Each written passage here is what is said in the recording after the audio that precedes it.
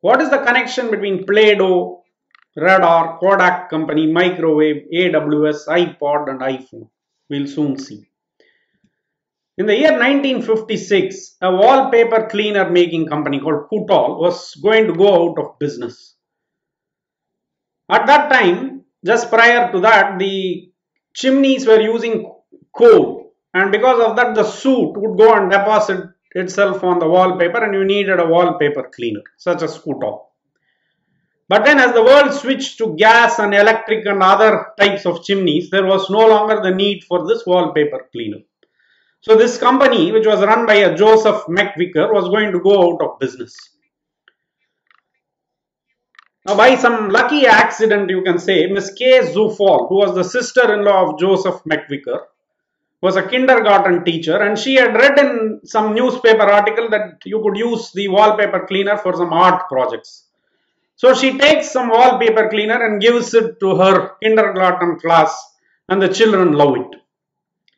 So she comes back to Joseph McVicker with her finding and she and her husband also come up with the iconic name that we know now of Play-Doh. Obviously, the Kutol company now switched itself to making this Play-Doh and the rest is history. Over 2 billion cans of Play-Doh has been sold so far. And it is now owned by the famous Hasbro toy company. We have all heard of the Kodak company's meltdown in the face of the digital revolution. But not many people know that there was another company, Fuji Film, which was also in the same industry, a kind of a duopoly between Kodak and Fuji Film. They were also faced with the same death march. Now, Fuji Film went back to the drawing board and looked at all their core capabilities. And they soon realized to make a color photographic film, they had to deposit about 24 layers of chemicals in fine layers they took this capability and they started looking for applications. Just then the LCD screens were becoming popular, LCD panels. They figured out that they could make a thin film which they can place on top of LCDs to cut glare and polarization and so on. So that product which they called Fuji Fujitac is now has 70% market share in this market and Fuji Film has turned itself around and it is now thriving. It has acquired many other capabilities and it's growing. Whereas Kodak, as we know, has filed for bankruptcy and they decided they were not idle either. They pursued the digital market directly and they failed because their core capabilities didn't match that.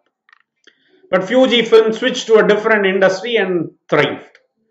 The best example I can give you today, which likely you may not have heard of, is the story of the radar and Percy Spencer.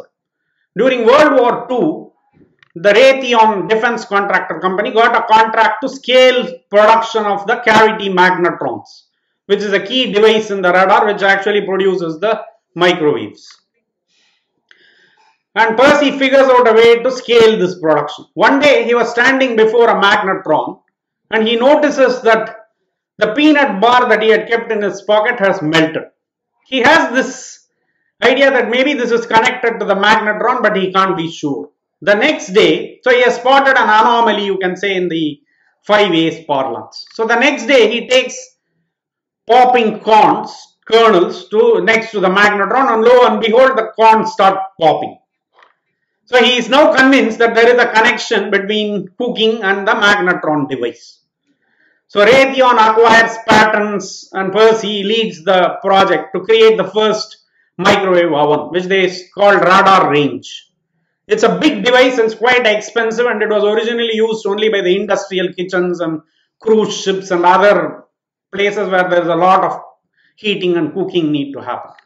Over time, as you know, the magnetron itself shrank in size, became simpler to manufacture them and today they are a key part of every kitchen top microwave we have in most of our homes. And the credit for that goes to this man, Percy Spencer of Raytheon. Now let's move to the digital world. So from these cases, you can see the scene pivot is nothing but taking the digital camera to an entirely new scene or a new market. And I think the most masterful example of this is AWS.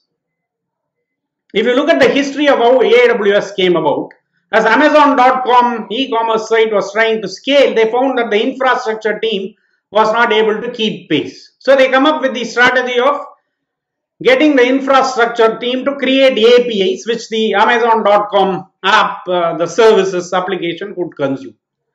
And that works so well that they realized that maybe they should offer this as a service to third parties and that later on becomes known famous as AWS and the rest is history. They have created a trillion dollar market and a game changer in the IT industry.